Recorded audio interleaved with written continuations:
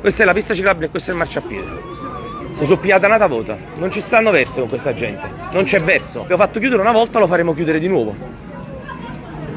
Adesso stanno smontando tutto perché sono arrivato io, ovviamente. In mezzo alla strada, ovviamente. La macchina qua in mezzo alla carreggiata. Ovviamente è tutto bloccato, tutto si blocca perché loro occupano la carreggiata abusivamente. Prima, quando ci fu l'aggressione nei miei confronti, abbiamo fatto 4 anni al proprietario che disse che non mi aveva mai visto in vita sua dopo avermi aggredito. E tre anni. No, come nessun problema. Il problema è che voi bloccate il traffico, che fate attività illecita. Il traffico di qua, questo qua, le macchine, sì. Sì, sì, sì. Vi mettete le macchine, mettete i vostri sediolini in mezzo alla strada, alla carreggiata. Eh, anche col parcheggiatore, che era vostro complice. complice dell'allora titolare, che è stato condannato a 4 anni. Scusami, eh. eh. i parcheggiatori non sono problemi nostri. Come no? L'altra volta mi picchiarono assieme. Parcheggiatore e proprietario dello ciottolo. Proprietario? Eh, eh proprietario, non sapeva niente. Per fortuna ci sono le condanne, perché sennò qua mi prenderebbero per pazzo. Per fortuna ci sono le condanne. Ma ora deve fare il secondo grado di giudizio. Eh. No, e lei non occupi abusivamente la strada, non faccia un'attività illecita. Qualsiasi risarcimento otterrò per l'aggressione e per avermi mandato in ospedale impicchiato selvaggiamente in tre erano, compreso il parcheggiatore abusivo che non c'era, i loro non facevano affari, non aveva soldi. Pare che si sia dismessa dalla società, abbiano cambiato i titolari. La situazione è questa, quella che vedete. Si sono reimpossessati della strada. Un'altra volta. Nulla è cambiato nulla è cambiato. In mezzo alla strada, giustamente. Eh, lo so, ma eh, chiedere scusa, ma intanto si passa una macchina alla volta. Eh, perché è arrivata la polizia. Perché è arrivata la polizia, per questo cambiano le cose. Che vergogna. Per mangiarsi un panino, eh, non perché siamo fuori un ospedale o chissà che cosa. Tutto bloccato perché i titolari del ciottolo mettono i loro mezzi, le loro sedie in mezzo alla carreggiata dove non sarebbe possibile neanche parcheggiare, loro ci mettono addirittura i tavolini. I tavolini. Ma le sembra normale parcheggiare la macchina così? Ma, ma, non esiste proprio. No, non è una macchina così grande. Guardi come devono procedere le macchine. Seconda cosa lei pensa mangiare un panino una cosa da bloccare traffico eh, ma che c'entra? Non si può parcheggiare qua, non posso stare neanche i tavolini. Queste non sono strisce blu, dove le vede le strisce blu? Questa è carreggiata.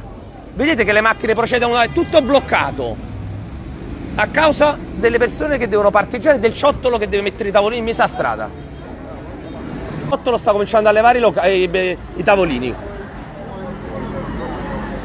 Incredibile, li stanno levando. Stanno spostando scooter parcheggiati in mezzo a strada, giustamente era del ciottolo. Eccoli qua. Complimenti a tutti, eh. Complimenti. Poi non avete una lira, venite in tribunale a dire che non avete una lira. Questi sono tutti i tavolini messi abusivamente che adesso stanno spostando. Guardate quanti tavolini tiene abusivi.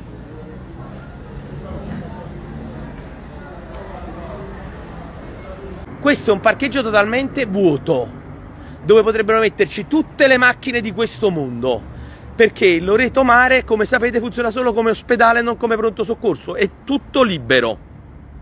Ma possono mai fare queste persone 10 metri a piedi?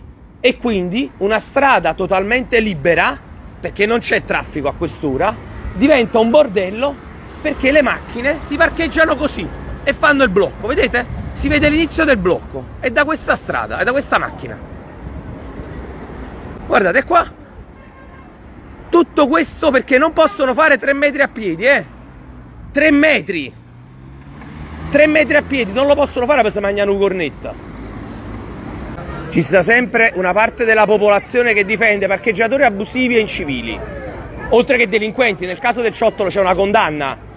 Aspettiamo solo il secondo grado. E se ricordo bene, alcuni familiari abitavano proprio qua sopra. Sarei proprio curioso se la signora è una parente. La signora che dice fa schifo, ovviamente se mangia la città ma gli fa schifo gli altri. Eh. C'è l'immondizia che butta la gente come lei purtroppo. Sì, sì. L'immondizia della gente che si comporta... Chi è che butta la mondezza qua? tutta la gente di monnezza. Io mi ricordo quando feci l'altra volta l'intervento al ciottolo, pensate un po', mi aggredirono, mi picchiarono, mi rubarono il cellulare, sono stati condannati, eh? Per questo, loro i parcheggiatori abusivi. Quando tornai qua con la polizia, tutti i testimoni, tutti i testimoni dissero che non mi avevo mai visto. Per fortuna c'era il video. Guardate, questi parcheggiano addirittura di fronte, sopra al marciapiede, occupandolo totalmente. Anche qui di fronte.